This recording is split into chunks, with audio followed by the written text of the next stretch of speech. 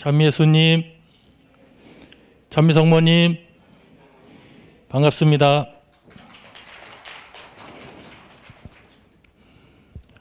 예, 지금 이 시간에는 나주성지 바르게 알기 94부에 대한 소개 시간이 되겠습니다. 먼저 부제로는 하느님께서 허락하신 시간에 대해서 중점적으로 말씀을 드리겠습니다. 먼저 목차부터 소개를 드리겠습니다. 9월은 순교자 성월입니다. 따라서 저희들에게 순교자들의 그 신앙을 본받은 그러한 말씀을 주고 계십니다. 또한 주님을 위해서 목숨을 잃는 사람은 얻을 것이라고 하신 그 말씀에 복음 말씀하고 또 사랑의 메시지를 통해서 하신 말씀을 묵상하겠습니다. 또한 저희들은 모두 다 반드시 구원을 받아 천국으로 가셔야 됩니다. 그럼 반드시 구원을 받는 그 방법에 대해서도 또 그렇게 된 자녀가 되기를 바라시면서 하신 말씀이 있습니다. 또한 하느님께서 허락하신 시간이 되었습니다. 그 시간이 다 되었다고 끝 무렵에 왔다라고 이렇게 말씀하십니다. 어떠한 시간이 하느님께서 허락하신 시간인지에 대해서 묵상하겠습니다. 또한 율리아님께서 이 세상에 안 계신다 하면은 계시는 동안 안 계시는 동안 그 말씀을 해 주십니다. 그 부분도 묵상을 하겠습니다. 또한 앞으로 저희들에게는 하느님을 촉범하고 무업천지가 된 이 세상을 정화시키시기 위해서 진노의 잔이 내려집니다. 하지만 진노의 잔이 내려질 때에 반대로 축복의 잔도 내려지게 됩니다. 진노의 잔을 받지 말고 축복의 잔으로 저희들을 초대하시는 그 부분에 대해서도 말씀을 드리겠습니다. 또한 구원을 완성을 이루시는 분 누구시겠습니까? 그 부분도 또 설명을 드리겠습니다. 끝으로 저희들에게 우상에 대해서 사랑의 메시지를 통해서 한 번 말씀하셨습니다. 그것도 허울 좋은 우상에 대해서 말씀하신 부분도 묵상을 하겠습니다. 먼저 저희들은 순교자의 신앙을 본받기를 말씀하십니다.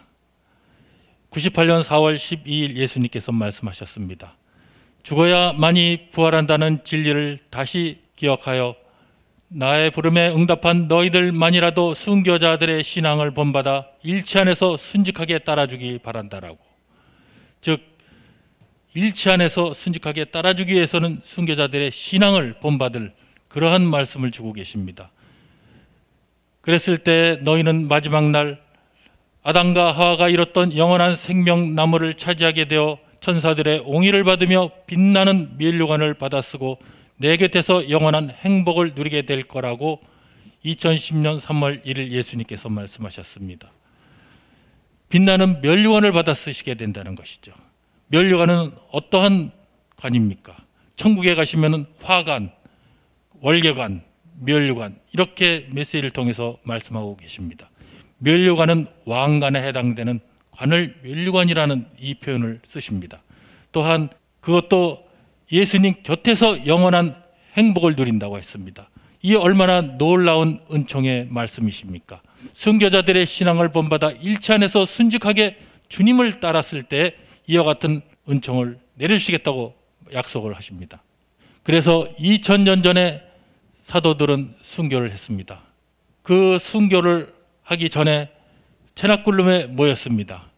순교로서 그 사명을 다하기 전에 체납굴름에 모였던 것처럼 지금 이 시대에 여기 계신 분들 유튜브를 통해서 나주성지에 함께 하지는 못하지만은 마음과 정성을 통해서 셈치고 함께 하시는 분들 나성원을 받아들이는 자녀에게는 같은 경우라고 말씀하시죠.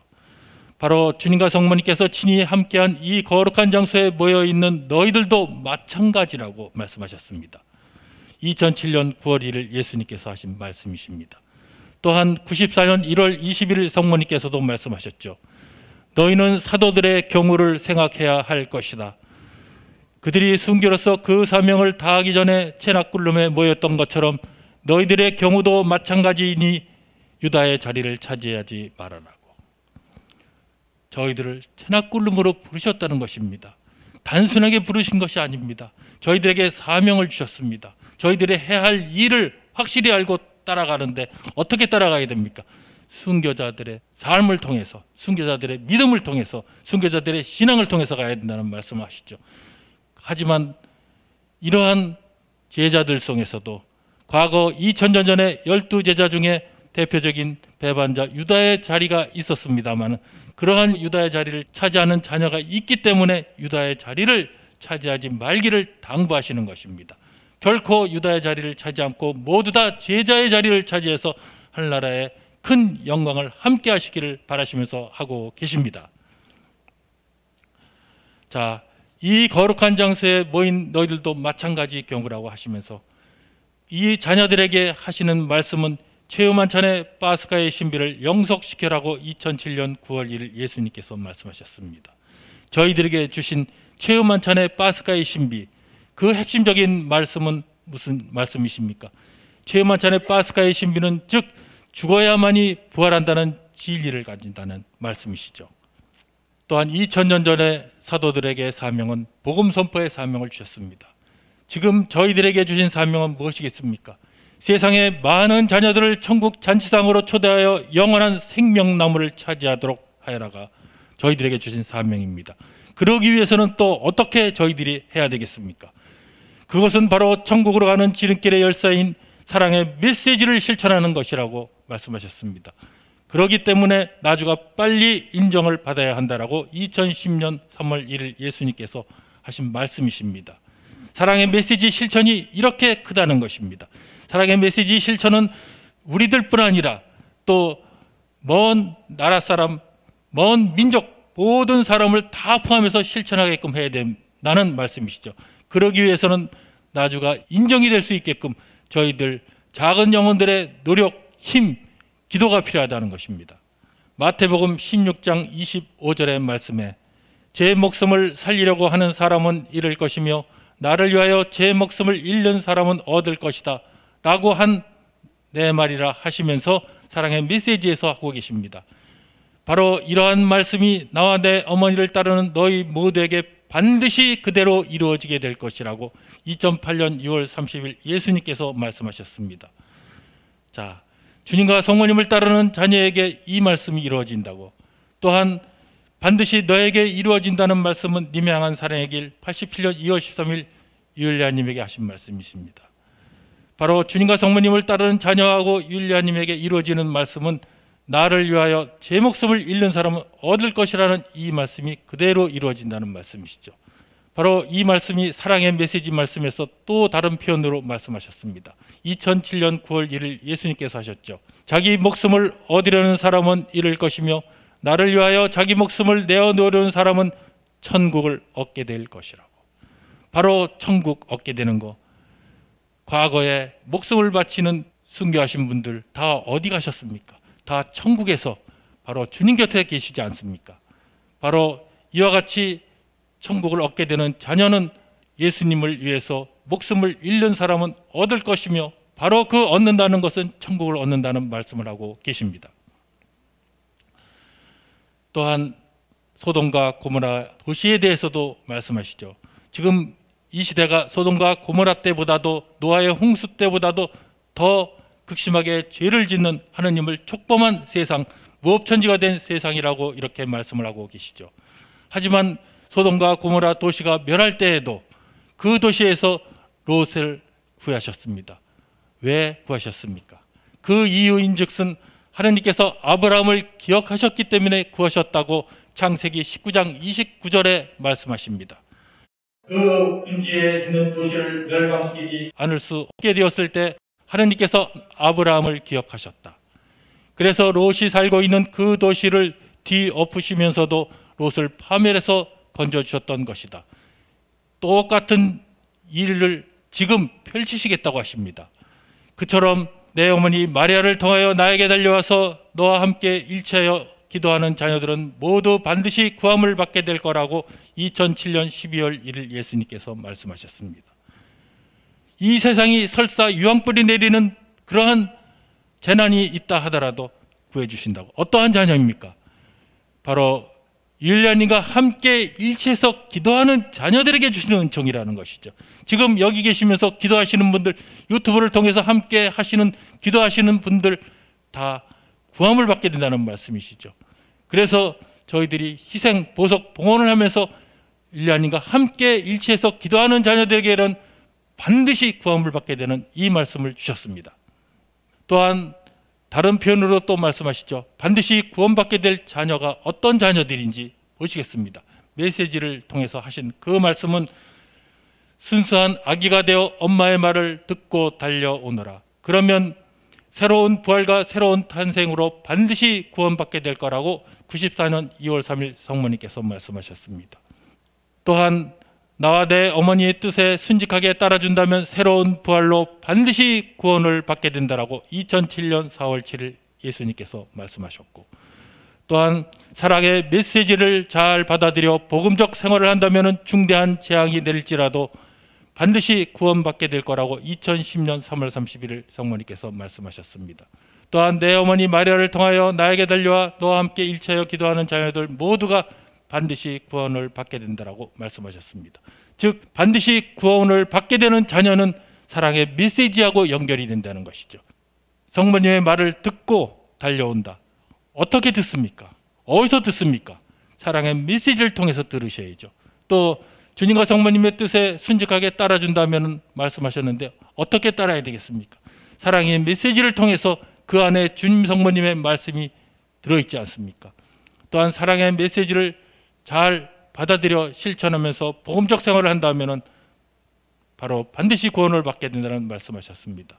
또한 좀 전에 말씀드린 대로 율리아님과 함께 일치하여 기도하는 자녀들 모두가 율리아님의 원의대로 반드시 구원받게 된다는 2010년 3월 26일 예수님 말씀이 있습니다. 사랑의 메시지 저희들이 정독하고 따르면서 실천한다는 것. 그러기 때문에 사랑의 메시지는 천국으로 가는 지름길의 열쇠라고 이렇게 표현하고 계시죠. 또한 주님께서는 마리아 막달레나를 그렇게도 많이 사랑하셨습니다. 이 말씀은 2000년 4월 23일 성모님께서 하셨죠. 왜 바로 주님께서 마리아 막달레나를 그렇게도 사랑을 하셨는지 그 이유에 대해서 저희들도 그렇게 사랑을 받으라고 하시는 말씀이시죠. 마리아 막달레나는 돌로 쳐 죽임을 당할 수밖에 없는 죄인이었습니다. 하지만 자기 죄를 진심으로 뉘우치고 회개하여 어린아이처럼 단순하게 주님을 따랐기에 천국을 얻게 된 것이라고 말씀하시죠. 즉 자기 죄를 진심으로 뉘우치면서 회개하였다는 것. 회개뿐만 아니라 더불어서 단순하게 어린아이처럼 주님을 따랐기 때문에 주님께서는 그렇게 마리아 막달레나를 사랑하셨고 또 이와 같은 마리아 막달레나처럼 저희들도 이와 같이 죄인으로서 또 다가가면서 회개하면서 주님을 따른다고 했었을 때 똑같은 사랑을 주시겠다는 말씀으로 주셨습니다. 또한 대표적으로 두 제자에 대해서 말씀하셨죠. 베드로하고 유다는 똑같은 주님의 제자였습니다. 똑같이 배반했습니다. 유다는 배반하고도 회개하지 않았으므로 멸망의 길로 갔죠. 회개하지 않고 후회는 했겠죠. 후회해 가지고 목숨을 버리는 그러한 곳으로 갔겠죠. 결국 회개를 통해서 하느님의 뜻대로 살려고 하지 않았기 때문에 멸망의 길로 갔지만 베드로 사도는 어떠했습니까? 세 번씩이나 부인했습니다. 하지만 회개의 눈물로 뉘우치고 주님을 따라 진리를 증거하여 천국을 얻게 된 것이라고 94년 1월 21일 성모님께서 말씀하셨습니다. 그만큼 회개가 중요하다는 것이죠. 회개를 통해서 천국으로 갈 수 있다는 바로 그러한 말씀을 주시는 것입니다. 그런데 하느님께서 지금 저희들에게 허락하신 시간이 있습니다. 그 허락하신 시간은 자녀들의 회개를 위해서 허락을 해주신 시간입니다. 91년 1월 29일 성모님께서 말씀하셨고 또한 이 세상에 내려질 징벌과 유황불의 재앙을 면할 수 있도록 하느님께서 허락을 해주신 시간이 있습니다. 2001년 11월 9일 성모님을 통해서 말씀해 주셨죠. 이러한 하느님께서 허락해 주신 시간이 이제 거의 끝나갑니다. 끝나가고 있기 때문에 말씀하셨죠. 어서 깨어서 기도하라고. 그 하느님께서 허락하신 시간 어서 깨어서 기도하는데 어떻게 기도를 해야 되겠습니까? 91년 1월 29일 성모님께서 말씀하시기를 어린아이처럼 더욱 순수해지면서 어서 깨어서 기도하라고 하셨고 또 2001년 11월 9일 성모님께서 말씀하시기를 이 세상에 내려질 징벌과 유황불의 재앙을 면할 수 있도록 어서 깨어서 기도하라고 지금 하나님을 촉범한 이 세상 정화를 시키기 위해서 이 세상에 피 흘리는 정화의 시간을 마련하셨고 그 정화의 시간 동안에 그것을 면할 수 있게끔 깨어서 기도하기를 바라십니다. 또한 정의의 심판의 때가 멀지 않았다는 것을 기억하면서 매 순간 깨어 기도해야 한다라고 2002년 6월 30일 예수님께서 말씀하셨습니다. 깨어서 기도한다는 것이 왜 중요합니까? 바로 내 소중한 작은 영혼과 함께 깨어 기도하는 너희는 마지막 날 하늘나라 내 옥자 앞에서 영원한 행복을 누리게 될 것이기 때문이다. 2008년 6월 30 예수님께서 하셨습니다. 깨어서 기도하는데 어떻게? 바로 율리안님과 함께 깨어 기도하는 것이 바로 하늘나라 예수님 옥자 앞에서 영원한 행복을 누리는 그러한 기도가 된다는 것입니다. 바로 여기 계시면서 또 날성모님 아시는 분들에게 큰 대단한 은총의 말씀을 주시고 계십니다. 저희들은 복된 자녀입니다. 저희들은 부유한 자녀가 되겠습니다. 하지만 율리안님께서 이 세상에 안 계신다면 어떠한 세상이 되겠습니까? 이 세상은 잿더미로 변하게 될 거라고 2011년 4월 22일 성부 하나님께서 말씀하셨습니다. 또한 다시 한번 알아들을 수 있게끔 율리아님이 이 세상에 안 계신다면 하나님의 벌이 내려질 거라고 2014년 4월 18일 성부 하나님을 통해서 말씀해 주셨습니다. 또한 하나님의 진노의 잔이 내려질 거라고 2020년 8월 16일 최근에 바로 율리아님의 어머니 홍마리아님을 통해서 말씀을 주셨죠. 앞으로 이 세상은 율리아님이 안 계신다면 잿더미가 되고 하나님의 벌이 내리고 하나님의 진노의 잔이 내려진다는 것입니다. 그렇기 때문에 율리아님이 더 오래 생명을 유지하면서 더 많은 단 한 영혼이라도 더 구원받을 수 있게끔 저희들이 도와드리고 함께 일을 하는데 힘을 보태드리면서 기도해 드려야 된다는 것입니다. 자, 좀 전에 말씀드린 대로 진노의 잔이 내려지면 어떠한 세상이 되겠습니까?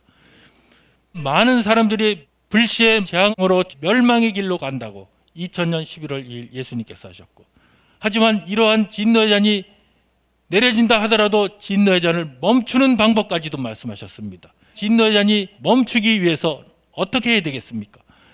바로 나주가 인준되어 사랑의 메시지를 실행하게 된다면 2011년 3월 10일 성모님께서 말씀하셨습니다. 나주가 인준이 되어 세상 모든 성직자들과 자녀들이 내 작은 영혼에게 준 사랑의 메시지를 받아들여 실행만 한다면 진노의 자는 멈출 거라고. 그러기 때문에 저희들은 노력을 해야 됩니다. 인준받을 수 있게끔 작은 자로서의 더 큰 노력이 절실히 필요하다는 것입니다. 또한 진노의 잔 대신에 축복의 잔도 내려주시겠다고 했습니다. 진노의 잔 속에 들어갈 것이 아니라 축복의 잔으로 들어가는 그 방법을 제시를 주셨습니다. 바로 사랑의 메시지에 응답해서 성모님을 따를 때 91년 3월 10일 성모님께서 말씀하셨고 사랑의 메시지를 실천할 때에 진노의 잔 대신에 축복의 잔을 주시겠다고 2000년 11월 2일 예수님께서 말씀하셨고 또한 나주에서 주신 5대 영성으로 무장하여 실천한다면 2017년 10월 20일 성모님께서 말씀하셨고 또 성모님의 뜻을 성교에서 받아들일 때 2007년 10월 19일 예수님께서 말씀하셨고 또한 나주에서 전대문의 기적들을 내려 주셨습니다. 그 수많은 기적들을 성교에서 받아들여질 때 바로 진노의 잔 대신에 축복의 잔을 내려줄 거라고. 성교에서 해야 될 일, 또 저희들이 해야 될 일, 저희들이 해야 될 일은 다 모두 다 사랑의 메시지하고 연결되어 있다는 것이죠.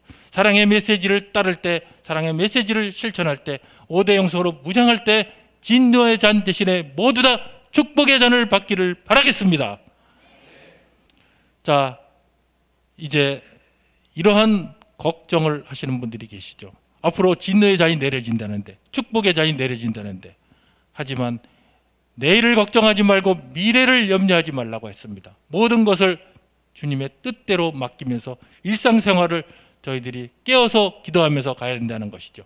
그렇기 때문에 인간적인 생각으로 내일을 걱정하지 말고 미래를 염려하지 말아라고 93년 4월 14일 성모님께서 말씀하셨습니다.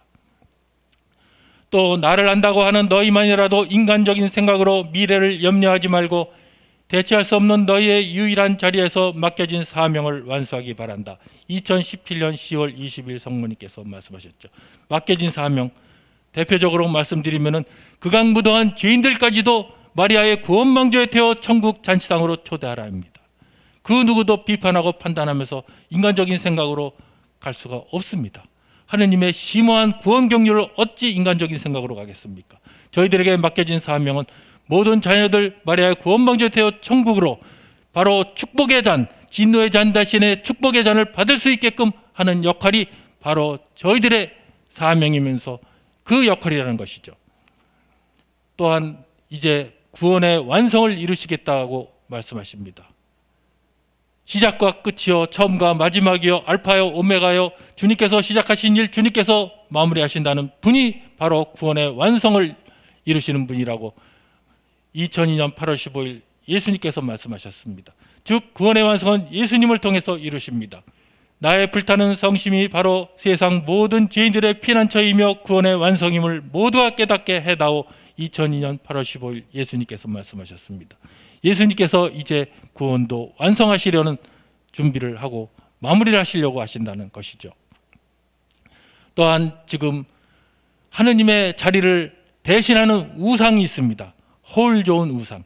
사랑의 메시지를 통해서 통틀어서 딱 한 번 말씀하셨죠.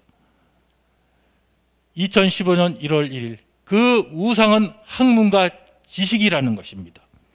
학문과 지식에 얽매여서는 안 되고 그것이 바로 하느님의 자리를 대처하는 우상이라고 말씀하시죠.